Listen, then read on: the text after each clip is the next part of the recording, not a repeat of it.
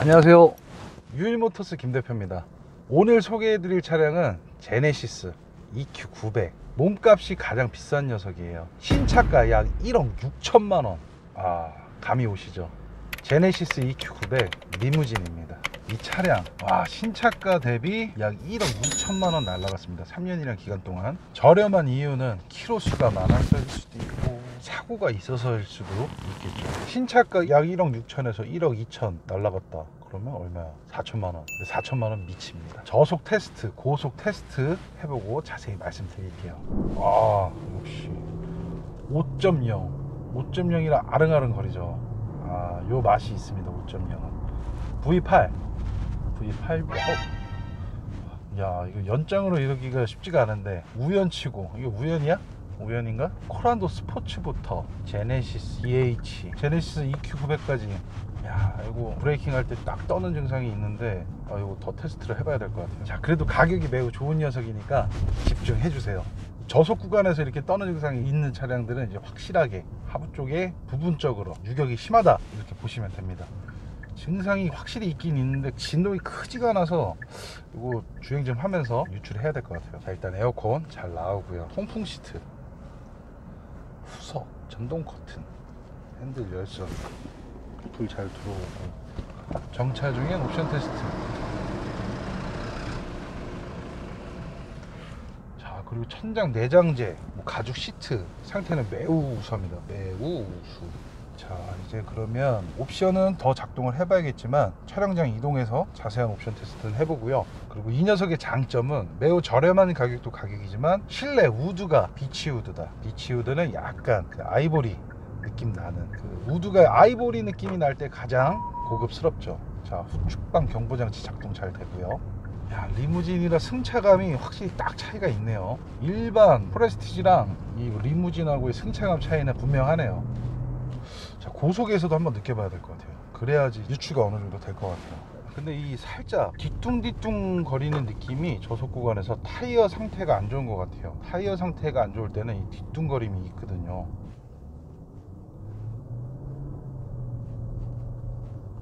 가 속 시에도 살짝 느껴지고 head-up display는 아주 선명하게 잘 보이고 있습니다. 그런데 실내 내장재 상태가 진짜 매우 우수합니다. 아이 주행 성능도 딱 100% 만족할 수 있는 상태면 좋은데요. 중고차 상태는 랜덤입니다. 자, 빨리 고속 시운전을 해보고 싶어요. 차량들 보내고 안전하게 테스트 해볼게요. 리무진 차량 운전할 때 불편하지 않냐 이런 질문들을 많이 주시는데요. 음, 운행 중에는 불편함은 없고요. 이제 일반 차량보다 리무진 차량은 좁은 주차장 같은 데서는 애 먹는 경우가 조금 있죠. 앞뒤로 몇 번 더 빼야 됩니다. 지금이야. 자, 출발. 아 소리 멋있어. 어? 어 느껴진다. 느껴진다. 진동이 느껴진다. 어, 더 느껴진다. 그 braking. 어, 떨린다. 아, 음, 확실히 그 가속 시, 감속 시 떨리는 증상은 있다.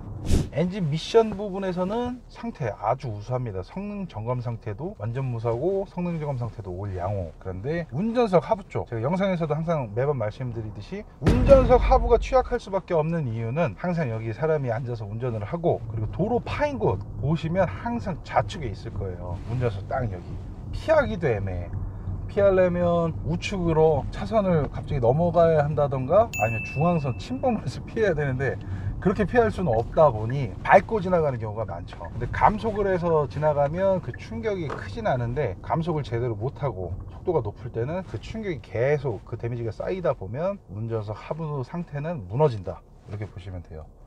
전반적으로 주행 성능감은 좋은데 하부 쪽, 이 아래, 로우 다이 쪽 이쪽 애들이 유격이 있을 거다 이렇게 보시면 돼요. 그리고 이제 부식만 나오는 경우에는 부식만 교환하면 매우 저렴하게 교환이 가능한데요. 부식만 교환이 안 되고 통으로 나오는 경우에는 비싸다. 20에서 50만 원 보셔야 되고요. 부식만 나오는 애들은 부식만 갈아주면 뭐한 10에서 20만 원 살이면 교환이 가능하다. 이렇게 보시면 될 것 같아요 자, 그래서 하부가 유격이 있어서 안 좋으니까 운전석 하부 진동이 실내에도 유입이 되니까 실내로 유입되는 잡소음은 조금 있다 이렇게 판단하시면 되고요. 요거 요런 증상은 사실 빨리 잡아야 돼요. 이게 커지면 커질수록 실내에 유입되는 잠시만요.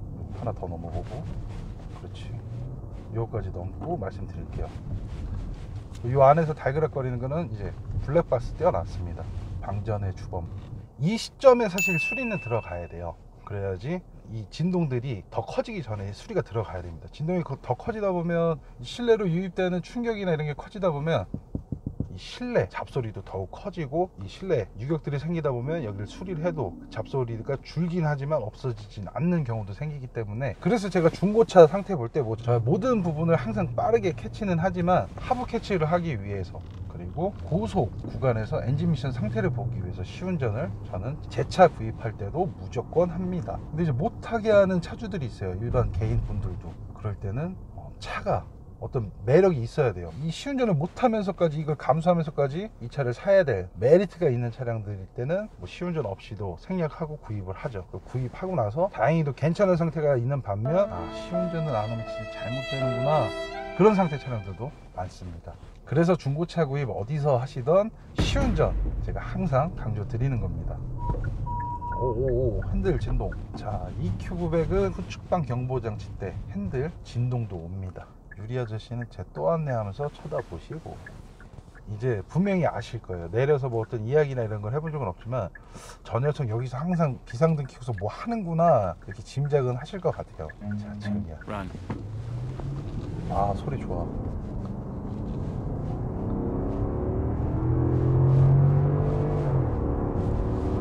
출력 좋고. 근데 떨린다. 떨린다. 심하게 떨린다. 어.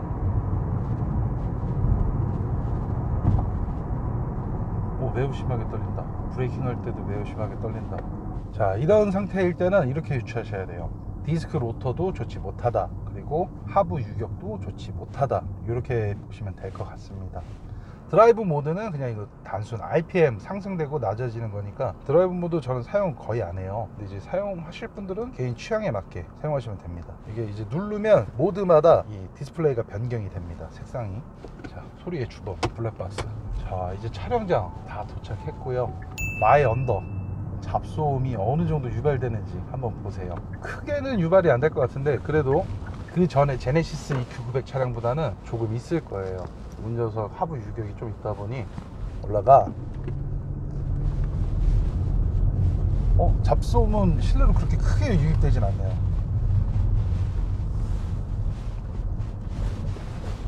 그렇지.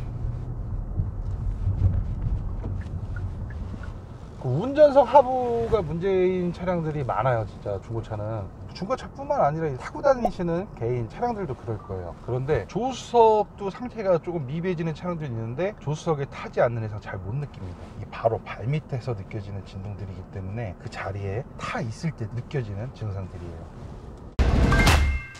안녕하세요. 유일모터스 김 대표입니다. 아 오늘 햇살 정말 강하네요 눈이 너무 부셔요. 그래서 눈이 너무 부셔서 인상을 조금 징그리는 점 양해 부탁드리겠습니다. 자 오늘 소개해드릴 차량은 제네시스 EQ900 리무진 차량입니다. 매우 깁니다. 무려 29cm가 축간 거리가 늘어나며 실내 후석 공간은 29cm가 더 확보된다. 이렇게 보시면 될 것 같아요. 2017년형 주행거리 15만 8천 킬로 완전 무사고 성능 점검 상태 올 양호 차량입니다. 신차가는 약 1억 6천만 원. 정확한 가격은 1억 5천 620만 원 정도인 것 같더라고요. 자 오늘 판매 가격은 3,680만 원입니다. 3,680만 원 약 3년간 1억 2천만 원이 날라간 거예요. 사라져 버린 거죠. 이 진짜 부자가 아니라면 금전적으로 여유가 있으신 분이 아니라면 구입하기가 힘드신 차량 신차 때는.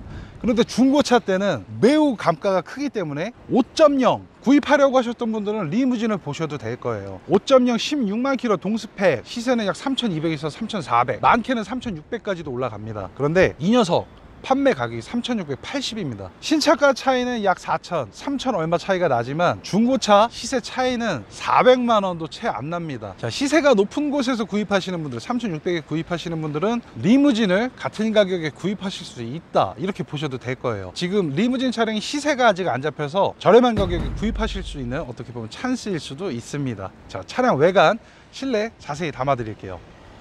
자 외관 상태 wow. 광발이 살아 있습니다. 휠 타이어 상태도 전반적으로 봤을 땐 좋아 보이지만 이따 자세히 한번 살펴볼게요. 외관 상태 어... 문콕 하나 있습니다. 자, 광, 와 광발 진짜 살아 있다. 자, 광발이 살아 있는 차 어떻게 보면 되게 큰 장점입니다. 자, 광, 야, 광이 전체적으로 살아 있어요. 근데 휠 기스는 아 제법 있네요. 광발이 와 전체적으로 살아 있습니다. 야 리무진 차량 요거 이쁘다. 자 사이드 미러가 크롬 도금이 wow. 들어갑니다. 어 포인트 어 매우 고급스러운데요. 하단부도 매우 고급스럽습니다. 자 그런데 휠 휠 기스 내짝 다 있는 것 같은데 헤드라이트 엠블럼 그릴 그리고 범퍼 하단에는 기스 없습니다. 휠 타이어 체크 한번 해보겠습니다. 타이어 tread 40%. 어, 휠 기스가 전반적으로 다 있는 것 같아요. 자, 뒤쪽은 매우 많습니다. 자, 뒷타이어 tread는 오, 90%. 뒷타이어 tread는 90%. 뒤 tail lamp, 범퍼 하단 매우 깔끔합니다. 광발이 진짜 살아있어요. 자, 휠 기스. 아, 타이어 tread 90%. 휠 타이어 상태. 앞 타이어 tread는 40%. 음, 전반적으로 내짝 다 있습니다. 휠 기스는. 음, 아쉽네요. 아쉽습니다. 실내 상태 한번 보겠습니다. 자, 실내 상태. beech wood가 들어가서 더욱 고급스러워 보이고 조금 환한 분위기를 연출해 줄 수 있다. 이렇게 보시면 될 것 같아요. 자, 운전석, 실내, door catch. 사용감이 제일 많은 부분인데요. 사용감 없습니다. 실내 관리는 잘 하셨고 외관 관리도 잘 하셨는데 아, 하부. 이 하부는 관리라기보다 개인 그 느껴지는 그 차이인 것 같아요. 왜 EQ900 리무진을 타면서 이거를 느끼긴 느꼈을 텐데 이런 부분에서 조금 음, 둔하셨다고 표현을 해야 되나? 아무튼 그런 것 같아요. 분명히 느낄 수 있는 증상인데 이 부분은 수리를 안 해놓으셨다. 어떻게 보면 그걸 수도 있어요. 엔지니어에게 뭐라고 표현을 해야 될지 몰라서. 자, 이런 하부 유격들 사실 카센터 가도 이런 정비소 가도 엔지니어들이 제일 난감해하는 게 이 하부 컨디션입니다. 왜? 육안상으로 확인이 안 될 경우에는 어디를 고치라고 얘기를 못 하거든요. 그럼 저처럼 이런 캐치 능력이 뛰어난 사람들은 운전석이야 운전석 털자 이렇게 해서 잡히는 경우도 있고 안 잡힐 때는 반대쪽을 털지 아니면 운전석 쪽 다른 부위를 털지 이런 게 사실 필요합니다. 그래서 하부가 제일 수리가 힘 들어요. 유추를 본인이 차주가 해야 돼요. 정비사들은 잘 모릅니다. 왜? 정비사들은 이 차 느낌을 모르는 아니면 EQ 안 타보신 분도 사실 되게 많습니다. 그래서 모르는 겁니다. 그래서 하부 상태 컨디션은 유추하기가 매우 어렵다. 어떤 부분인지 그렇게 참고하시면 될 것 같아요.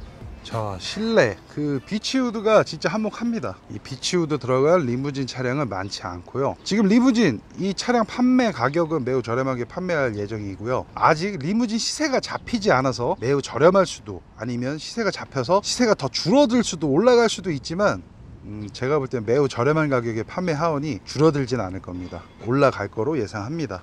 자 실내 한번 자세히. 트렁크도 자 전동 트렁크 당연히 들어가고요. 자 제 짐들 좀 치워 놓고 자 이렇게 이렇게 일단 하나 거시고 그 다음 자 공구류들 다 있고요. 그 다음 얘도 걸어 주시면 됩니다. 제 가방 때문에 이거 자 트렁크 상태 매우 깔끔합니다. 자 집어넣고 얘도 다시 닫아 놓고. 트렁크 설명 끝자 전동 트렁크 작동 잘 됩니다. rear 램프류, 그리고 범퍼, 트렁크 상태도 매우 좋고요. 외관 상태, 휠 빼고는 어, 상태 A급입니다. 자, 실내 상태 오늘은 이렇게 보여드리고요. 그 다음 차량에 탑승해서 옵션 설명 자세히 해드릴게요. 자, 이 beechwood 상당히 매력적이죠. 포인트도 잡으면서 실내를 약간 환하게 연출해 준다. 자, 가죽 시트 상태도 진짜 매우 우수합니다. 그런데 운전석 쪽에 시트 미비한 점 찾았습니다. 담아 드릴게요. 그러면서 동시에 이제 실내 옵션 설명 들어가겠습니다. 자, 요 부위 해졌습니다. 요 부위. 요 부위가 해졌다. 자, 그럼 다시 이제 탑승해서 탑승 전에 설명해 드릴 거. 계기판 조명 조절 스위치 후측방 경보장치 차선 이탈 경보장치 TCS VDC로 보셔도 돼요 주유구 캐치 전동 트렁크 스위치 주차 브레이크 전동 핸들 자 nappa 가죽 시트입니다 시트 질이 일반 시트랑은 다릅니다 시동 걸어 볼게요 잠깐만 에어컨부터 틀어 에어컨 좀 쐬고 설명해 드리겠습니다 아 이제 햇살이 너무 강해 더워 죽겠어요 주행거리 15만 8,310km. 자, 디스플레이 아주 커다랗습니다. 3분할 되는 것 같더라고요. around view를 켰을 때. 자, 3분할까지 가능하다. around view 표시되고요. 내비게이션 그리고 후방 표시되고 있습니다. 자, 이게 드라이브 상태인데. 자, 전방 표시됐고요. 자, 이제 후방 표시되고요. 자, 전후방 카메라, around view, 내비게이션 작동 모두 잘 됩니다. 너무 덥다. 빨리 설명하고 또 에어컨 틀고 잠시 쉬어야 될 것 같아요. 하이패스 일체형 룸미러, 그리고 map등. 자, 오늘은 자, 꽝 아무것도 없습니다. 하단 송풍구 그리고 미디어 관련 스위치 가운데 아날로그 시계가 아주 멋스럽게 장착되어 있습니다. 그리고 보시면 왼쪽에 버튼 시동 스위치, 공조기 관련 스위치 확인되고요. around view, 주차 센서, auto hold 작동 잘 되고요. drive mode 어, 취향에 맞게 변경하시면 됩니다. 그리고 무선 충전 패드, USB 1구, AUX단자 1구 확인됩니다. 자, DIS cup holder 2구, 냉풍 시트 틀어집니다. 너무 더워서 그 냉풍 열선 작동 잘 되고요. 열선 핸들, 전동, rear 커튼 확인 다 해봤습니다. 자, 그리고 아까 전에 잡소리의 주범 블랙박스 안에 모셔뒀습니다. 자, 실내 내장재 상태. 동승석 가죽 시트 상태.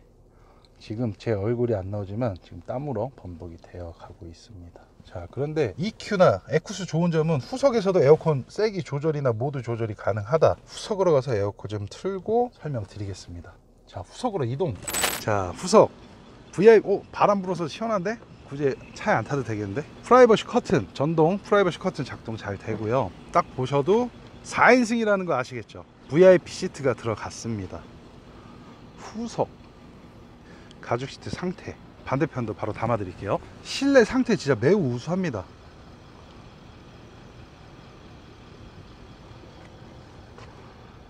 전면 시트 상태 후석에서 바라봐도 상태 매우 좋습니다. 후석 설명을 들어가야지. 오씨 리무진 에어컨 틀어줘. 자, 후석에서 에어컨 일단 냉풍부터 틀고 온도를 낮춰서 얘 온도는 어디서 하는 거야? 여기서는 통합. 후석에서는 dual control이 안 된다. dual을 할 필요가 없죠. 후석에서는 앞에서 세게 나와야 뒤에가 시원하니까. 자 무선 충전 패드 그리고 중앙 컨트롤러 DIS 들어갔어요. 그리고 냉풍 시트 뭐 여기서 다 조절 가능합니다. 에어컨 뭐 미디어 다 조절 가능합니다. 그리고 cup holder. 오 오. 잠깐만 얘는 뭐야 그럼? 얘는 그냥 그거네. 아무것도 아닌 거자 얘가 들어가는 거. 근데 요 위치 이 소개도 여기서 딱 잘립니다. 이 안에는 막혔어요. 이 공간은 쓸 수 없다. 자 여기까지입니다. 공간을 사용할 수 있는 컵홀도 닫을 수도 있고. 자 그러면 이렇게 하면 좀 더 깔끔한 느낌이 연출되네요. 자 송풍구 4구. 에쿠스 EQ만의 특권입니다. 대형 세단만의 특권 송풍구 4구 그리고 후석에서 에어컨 조절할 수 있다. 아 좋네요. 후석 dual TV 작동 다 잘 됩니다. 여기서 power LR 전원 스위치라고 보시면 됩니다. 그리고 내장재 천장 스웨이드 내장재 상태도 매우 좋습니다. 어디 오염되거나 그런 데는 전혀 없어요.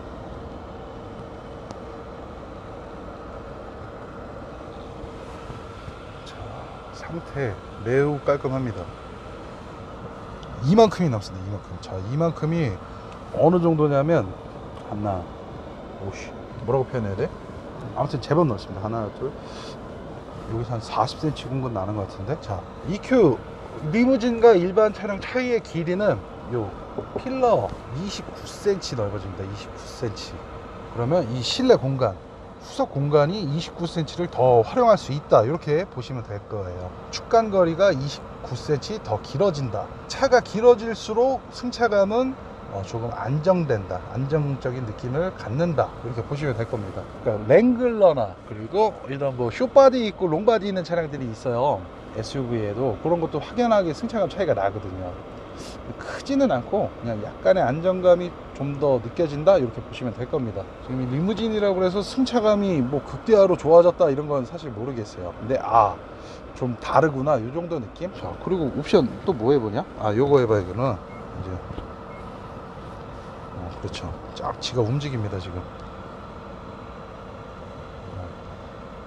이제 등받이가 내려가면서 앉은 좌석 쪽은 앞으로 당겨지면서 조금 더 편안한 자세.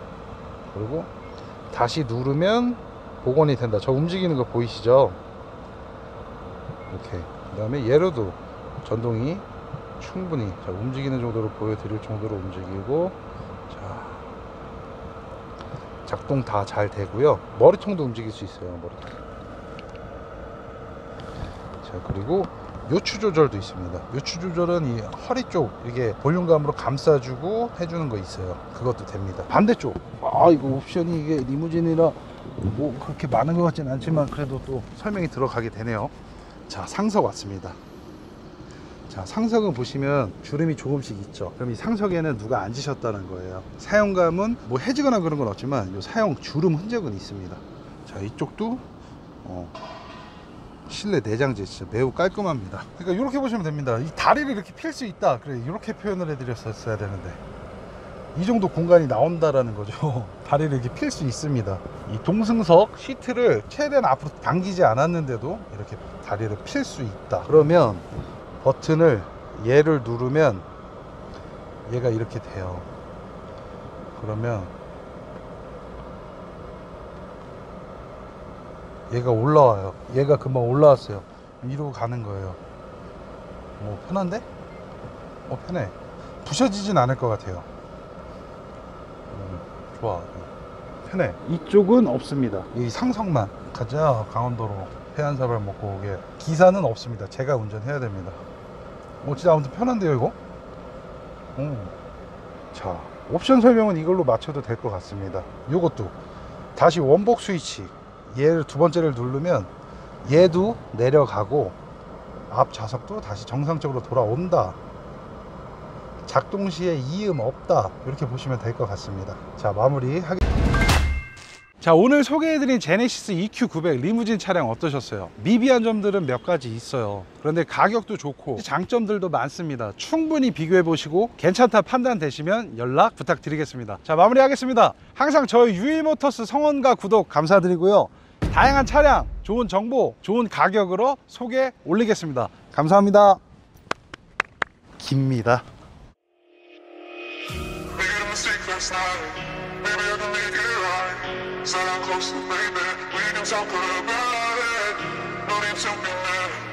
Hate to see you sad. Yes, I know I'm crazy, crazy about you, crazy about you.